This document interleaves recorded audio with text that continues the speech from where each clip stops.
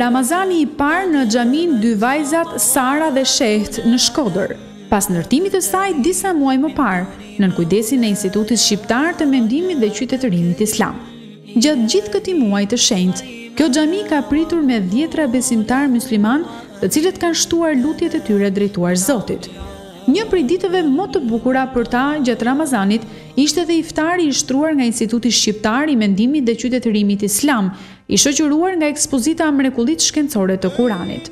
Në natën e fundit të teravive të muajit Ramazan, xhamia dy vajzat Sara dhe Shehd, dukej edhe më madhështore, e rrethuar nga plot gjashtëdhjetë postera të ilustruar të kësaj ekspozite, ku pasqyrohen fakte dhe dukuri natyrore, të shpjeguara në librin e shenjtë të Kuranit, si dhe lidhjen e tyre me zbulimet e shkencës bashkëkohore.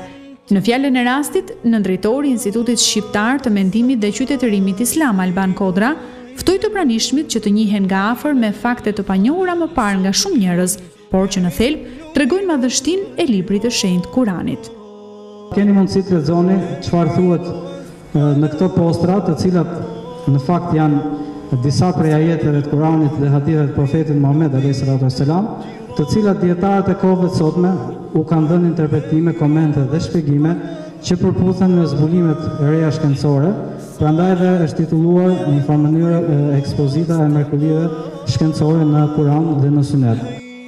Për imamin e kësaj xhamie, Lavdrim Hamja, ekspozita Mrekullitë shkencore të Kur'anit Vërteton më së miri se në fenë islame gjejnë shpjegim shumë dukuri të jetës sonë të përditshme. Besoj që është e mjaftueshme për të marrë një qoftë edhe një ide se si Allahu xhaleshanuhu përmes ajeteve të Kuranit na tërheq vëmendjen që të besojmë dhe besimi ynë të jetë i mbështetur me argumente. Po alhamdulillah këtu flitet për për krijimin e tokës e qiellit, të të të njeriut, për krijimin e e krijesave të tjera që Zoti xhaleshanuhu Përmes tyre dëshiron që secili prej nesh të forcojë besimin.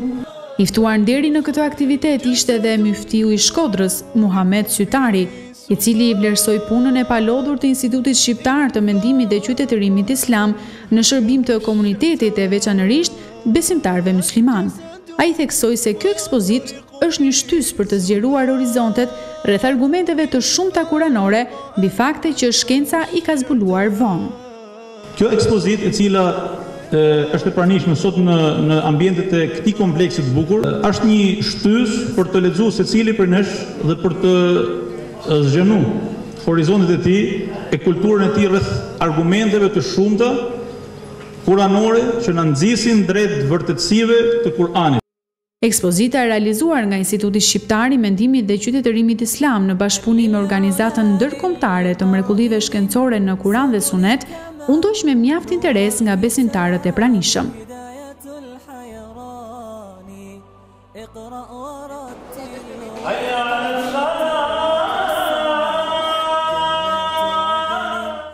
Pas thirrjes së ezanit, ata iu bashkuan faljes së namazit.